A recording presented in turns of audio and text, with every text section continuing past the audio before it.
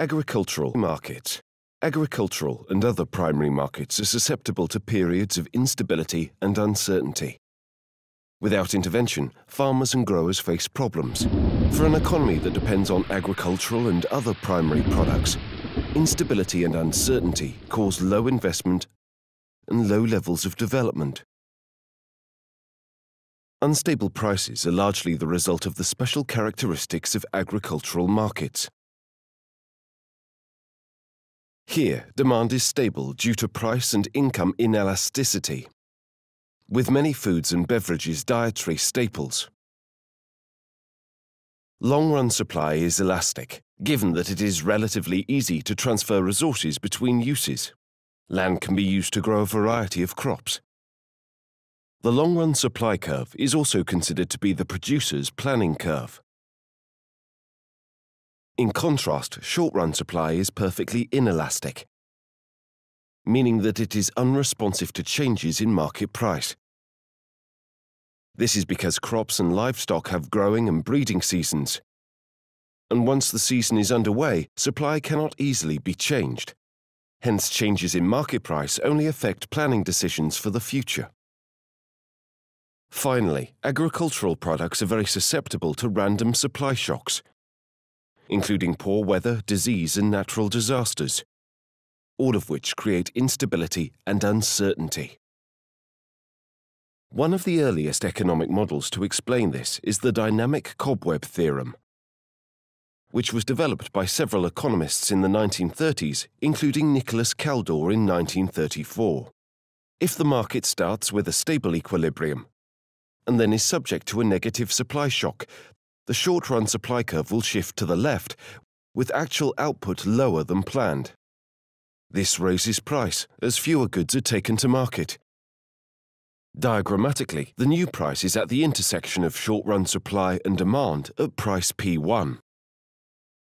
At this high price, farmers and growers plan to produce more in the following year, indicated by the long-run supply curve.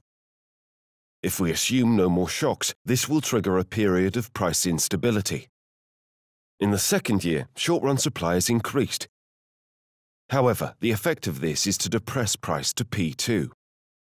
At this lower price, growers now switch output to another crop and reduce the quantity produced in year 3. However, this has the effect of increasing price to P3. If we follow the price path in green, it resembles a spider's web, hence the name cobweb diagram. If the process continues, farmers and growers will eventually leave the market, which threatens food supplies and increases food insecurity for the country. The uncertainty and instability also have wider effects. Not only do farmers and growers leave the market, but farm workers receive lower or more variable wages or become unemployed or underemployed. Farmers have less incentive to invest in new technology, forcing them to rely on inferior technology. At the heart of the problem is that decisions on next year's output is based on this year's price. Producers expect that the price next year is going to be the same as this year, but this is clearly a case of information failure, with potentially disastrous results. There are several ways of dealing with the instability, including schemes available to producers and governments. To restrict price movements, price ceilings and floors can be set, and the quantity regulated via a buffer stock scheme.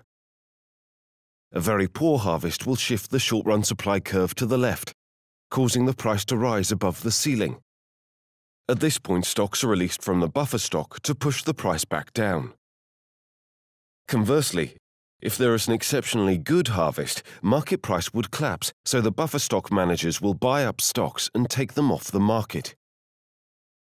The extent of buying and selling depends upon the agreed range of price movements, Given the difficulty of establishing a completely stable price, some fluctuation is allowed, which enables market forces and the price mechanism to work alongside intervention.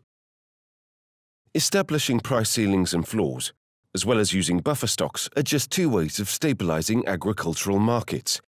In some cases, buffer stock schemes are inappropriate, especially when storage is difficult or expensive.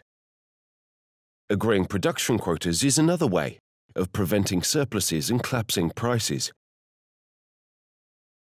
Producers are given a quota, which determines total supply. Reducing quotas will reduce supply, preventing collapsing prices.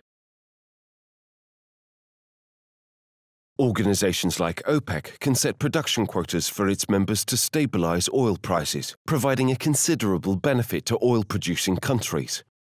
Quotas are commonly used for a range of commodities as part of the EU's Common Agricultural Policy. Since 1984, EU dairy quotas helped reduce vast milk and butter surpluses. These were dropped in 2015 to encourage EU farmers to understand and respond more effectively to changes in market conditions, especially in the global economy. Of course, following Brexit, the UK will be free to implement its own agricultural policy as an independent state. For more videos, go to www.learneconomics.co.uk.